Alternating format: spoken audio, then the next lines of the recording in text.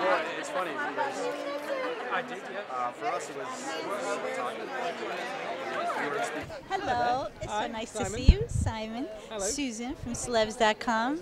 As you know, people have talked to you and said that you are the master of adaptation with the Full Monty and amazing, amazing films, as you know. What, what do you, as you know, what do you think about that as a description for you? Uh, I'm deeply honoured to be called that, and uh, I don't quite understand where it comes from, except that I'm very discourteous to the novelists because I play fast and loose with their books in order to adapt them.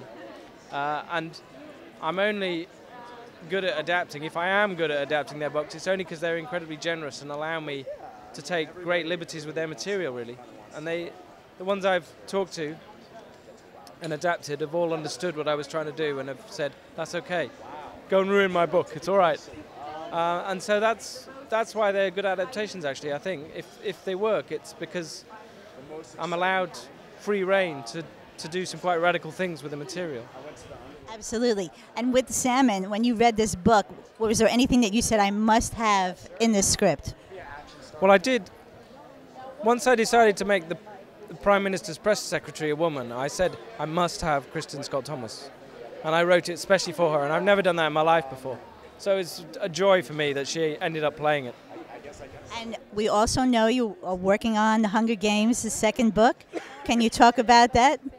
You know, that's very exciting. It's getting uh, out of control. All the all the uh, excitement about the first one, but I was very excited to do it because they're very bold books. A really interesting mix of political commentary about warfare, great character studies of, of, of a, a girl growing up and the challenges of that. Uh, and they're also just very bold, dangerous kind of action movies, all wrapped together in one. Um, so yeah, I'm, I'm, I'm busy on that. I just finished the first draft of Catching Fire, so we'll see how that goes. Great, absolutely great. And one last question for celebs.com. Danny Boyle, obviously, we love seeing any film that you guys do together.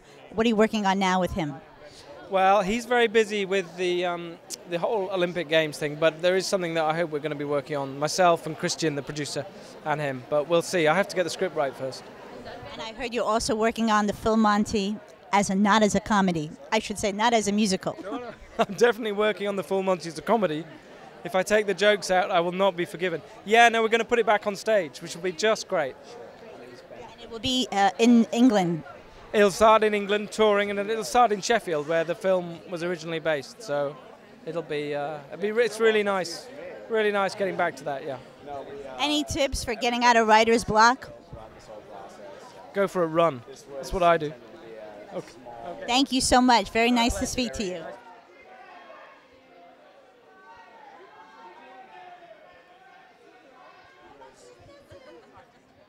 Nice